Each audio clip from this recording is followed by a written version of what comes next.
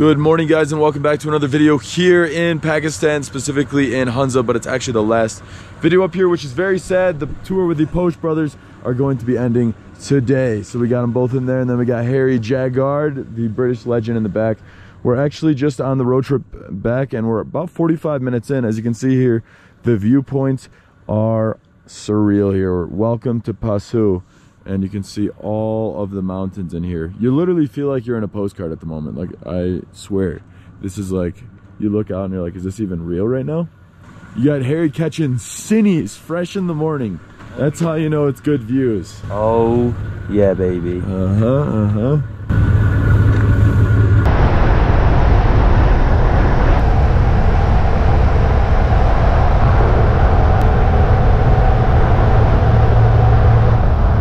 All right, guys, we just made it back into downtown Hunza, and this is gonna be one of our last meals we have in the northern part of Pakistan. I think we're gonna have some chai, some paratha. As you can see, I think the guys over there are making some of them fresh. So let's see where the boys, which way are we going? In here? All right, so this is where we're gonna be eating. So this is Chow Central over here, yeah? This is where we get the good stuff? We have a chai, paratha, and toast. Uh, what you want? Perfect. Okay. Let's do it. All right, guys, we're getting some fresh paratha bread being made. So let's see if we can get a little sneak peek. So this is where the fresh paratha bread's made. Can I get a sneak peek? Trying to see if we can see a sneak peek of the parathas being made. All right. Uh-huh. That's gonna be delicious. Salam alaikum. All right, we're gonna be chowing on that mixed with some eggs here, and that'll get us going in this uh, brisk cold morning here in the Hunza Valley area. Oh, we're cooking one on top of the other now too. Got a full line. Everyone's getting their morning parathas today. Well, bit of a line, guys. So as soon as the uh, parathas are ready, we'll give you a proper tasting here soon. Oh yeah, little paratha. We got one paratha. This thing is fresh off the press, guys. I tell you. Any hotter, I would probably lose my fingers. All right, let's flip that thing over, sandwicher, and uh, without further ado, let's see how this thing tastes. Mm-hmm. Mmm. Whoa, she's a squirter. All over. Mmm. Mmm. Mmm. Guys, literally, I'm getting sad thinking about leaving Pakistan, knowing I'm not gonna be able to have paratha bread anymore. It is so freaking good. I can't get over how good this is. Like the oils mixed in with the eggs, it just gives it like this whole new level of breakfast taste. Mmm. We got some fresh chai here. Oh, there we go. Look at that pour on there. Oh, not very good. Let's see if I can do this one. Oh, thank you. It's a pleasure. That's an akram pour right there. You see that? What do I do? You know why? It's just not loading. I'll, I'll keep trying. But... See that akram pour right there, bro? No, that one's got a little spray on it. Thank you. You know, it's a pleasure. Mm, time for some chai. Is this karak chai? Oh, the strong stuff to get us going. Oh, much needed, guys. I've been pretty tired this morning. We've actually already been up for like two hours, but you got, we're probably only like three minutes into the video because I was half asleep. Now we'll be ready because we've got, uh, what, 12 hours to get us back? Yes, if we not get the protocol. Oh, yeah. But we're taking a different route, so inshallah we won't have a uh, police escort, 19 separate cars for the next 15 hours. So it'll probably be 12 hours then. Mohammed, it's good to see you again. How are you? So we're going on the adventures again today, yeah? Yeah. Inshallah, not 19 police cars, yeah? Uh, hope so. Yeah, hope so. Yeah, we're going a different route though. Yeah. Yeah, yeah, because we're not going back to the SWAT area. We're going. Uh, we will go around from uh, Mansehra. Okay, so skipping the dams. We will try to skip it. Yeah, perfect, perfect. All right, guys, you heard it. You'll have to stay tuned to see what happens. How much is it? 566. All right. Shobash, keep the change. Allah Hafiz. All right, guys, that meal came out to about 500 and just a little bit after that. So it was maybe three US dollars. And of course, hooked our guy up with a little tip as well because he made those parathas delicious. What'd you think of that meal, bro? Horrible. I'm joking. Very, very nice. Hit the spot. The lads got jokes today. It's about there right now. And uh, yeah, really nice and giving me some energy for a very, very long car journey. Very long. Yeah, at this point, guys, we won't even make it if we have no stops with the police um, until like almost midnight. So we shall see what happens. Okay, guys. Okay, guys. Let's go. Brother, it's been a great time. Thank you for everything. Inshallah, we'll see you uh, next next summer. Yeah. Yeah, yeah, Yeah. sure. Thank you very much for everything. brother. Yeah. Thank you. See? You're welcome, bro. And uh, yeah, see you soon. Hopefully. See you soon. Yeah, thank you, brother. All right, take care. Guys, we're back with Mohammed and we're uh, cruising through uh, southern part of Hunza. And actually, the nice part is this is all going to be almost like a brand new drive, even though this exact portion of the route we took on our way up, because it was pitch black when we drove, um, geez, already like four, five, six days ago.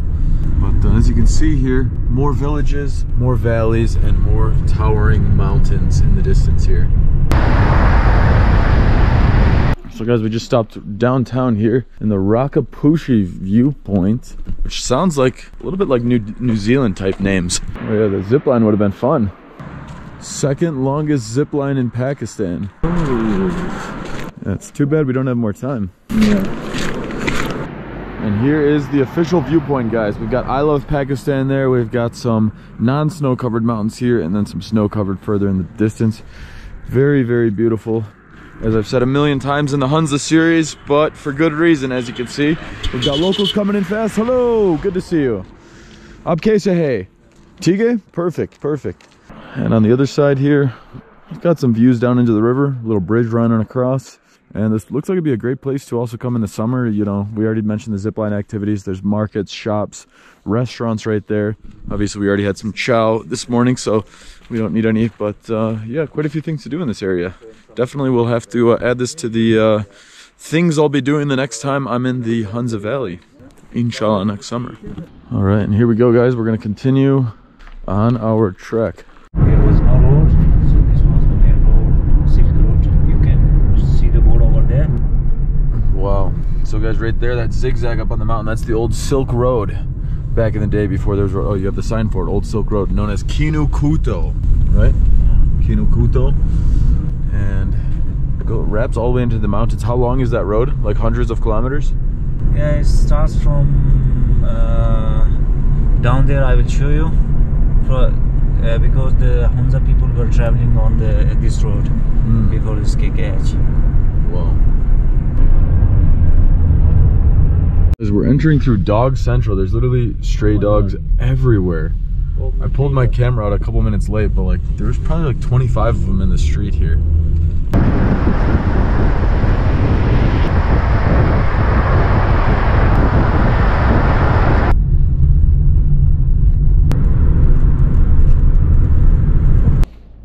As you guys can see, we just got out of the car here.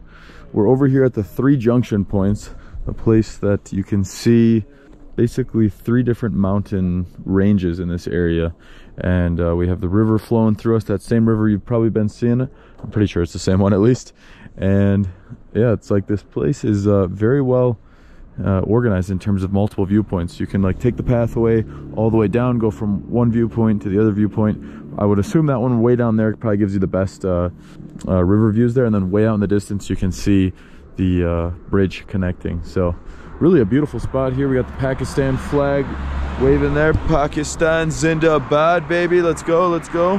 And this is the spot. So the nice part is along this drive on the way back, there are many places to stop off. And honestly, just looking out the uh, window the whole time is, is quite an enjoyable experience because the uh, landscapes are just continuously changing and are so beautiful. So let's head on back to the car and keep on going. I love the colorful trucks you guys have seen in all the videos. They're all decorated so nicely. Every single one of them. Every single one. But before we go back in the car, guys, we are gonna do one quick trip up to the top here, which is apparently the best viewpoint.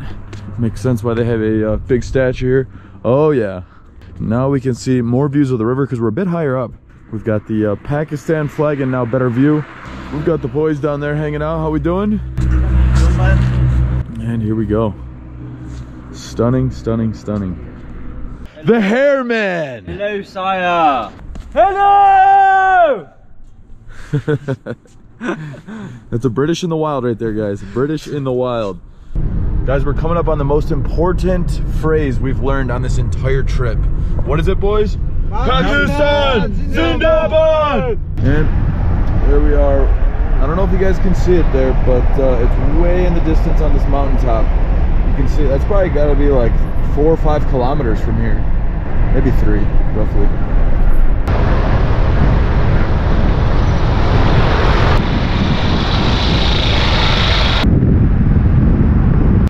This right here, guys, is a uh, free hot spring for the car wash. So these guys just pulled up, we got a nice hot spring coming out. Assalamu alaikum. Up kaise Car's looking good. Very nice. Hey, you guys can see up there, it's steaming up top. And you can smell a little bit of the sulfur too. And this is the uh, the dangerous passageway, right? Yes. Yeah, the bumpy road. A lot of stray dogs over here I've noticed too. Quite a few.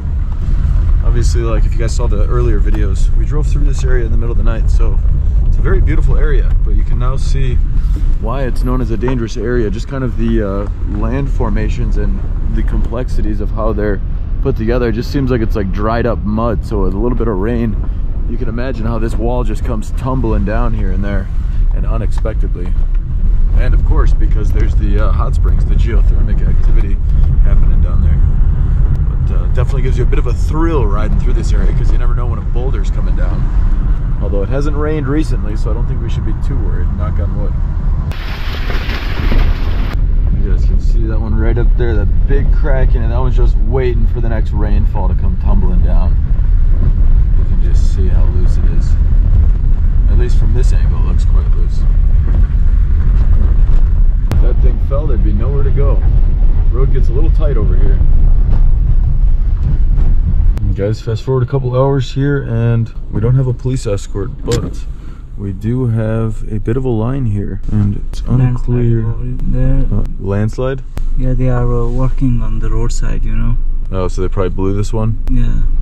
Yeah, so they've today they're uh, got the dynamite out, blowing some uh, new areas up here to clear out the paths, which means it takes some time to clear off the roads. Seems like with the amount of cars here and locals hanging out outside, they've been here for quite a bit of time now. And guys, it's gonna be a late one. From where we're at right now, excluding stops, nine hours and 15 minutes away. Here's the views we've got though. There's definitely worse places to be stuck. Well, we got quite the drop off right here. One false step, we're going swimming for the day. As you can see, we've got one, two, three, four, five, six, probably, I'd say almost 20 something cars built up in this area. Salam alaikum. Nice people out here. Salam alaikum. And quite beautiful though, guys. I will say, if there's anywhere to be stuck, this is the place because you'll never get tired of these views out here. But it doesn't even seem like they're moving up there. I'm looking at uh, basically the buildup right over there, and it just seems like the crane's parked there. Oh, that's probably because way down there they must have the uh, timber on the road. I think I see like if you can see way in the back there. Well, we'll update you guys with how long it actually took. How can I say hey? Mohammed Zed, nice to meet you. Let's do it. Perfect. Big guy. Big guy. Salam alaikum. Salam. Salam Kaya. Shamsul Rahman. Shamsul Rahman. That's a good name. Pick. Yeah, yeah, let's do a pick. Hey, the truck driver got in too. there it is. Okay. Tige. Okay, okay, okay. Sh shukriya. Shukriya. Nice to meet you. Meeting locals. The hair man's missing out. We're meeting locals, bro. You're missing out. We're out here meeting locals. Yeah? Yeah, we're just doing a photo session. Oh, now everyone's running to their cars. That's a good sign. They just moved everything. That's how you know it's clearing. Everyone's running in. So we gotta hop in real quick because people are gonna start honking because they've been waiting a while. So that's why you gotta run to your car. You don't want to be the one holding everyone up. Let's go. And now it's going to be a race. I bet these cars are going to be flooring it past each other.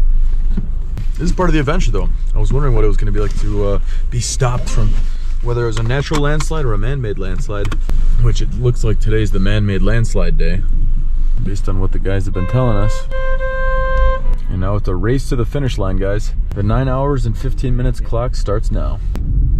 Looks like this bus has had some better days. Can't tell if it got hit by the landslide or if it had a pop tire and the rocks were surrounding it. This is definitely landslide area though. Oh, there's a pretty fresh landslide right here. That wouldn't be fun to fall in the car.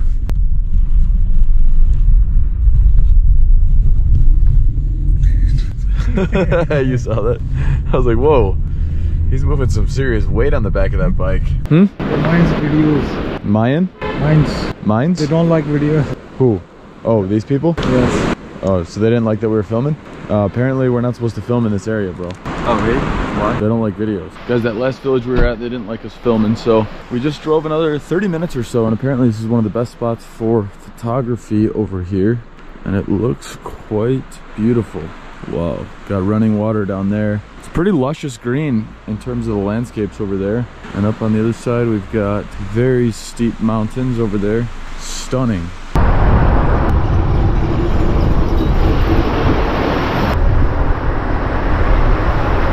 Time to get a little chai break, bro. What do you think? Chai break? Uh huh. think old Akram's getting a little tired. You know, we wore him out after seven days. Not doing as much filming on the uh, way back, guys, because if you missed the video on the way up here, we filmed a lot of the landscapes here. And as you can see behind me, it's already gotten pretty dark. We still have about seven hours roughly of driving, so we'll probably arrive at this point maybe like 1 a.m.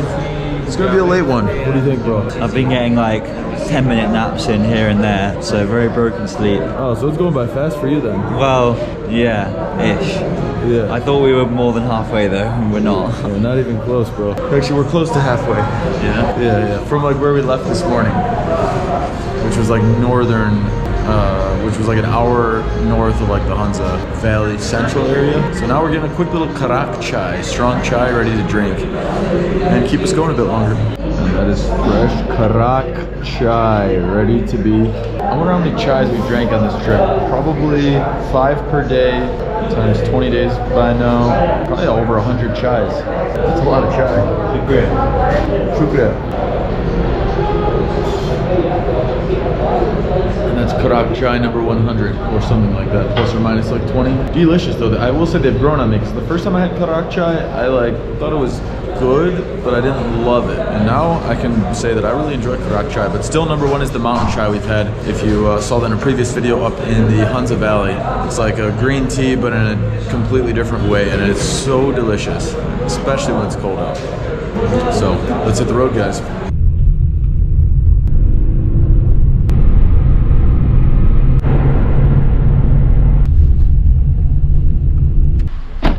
So guys, this is where the journey comes to an end. We've had such an amazing last week with the uh, Posh Brothers and Mohammed. So I just want to say thank you guys so much for everything. Welcome. Really, really appreciate it. Thank you, brother. Yeah, we uh, started the trip as strangers and left as friends. So thanks again. And uh, if you guys want to do a tour with the Posh brothers and Muhammad, I'll drop a link in the description below. They'll take you anywhere in Pakistan, in Hunza, wherever you want to go. They can customize the tours. They know this place super, super well. So if you guys have enjoyed this one, make sure hit that like button. If you want to see more videos both here in Pakistan and all around the world, hit that subscribe button and I'll see you in tomorrow's video.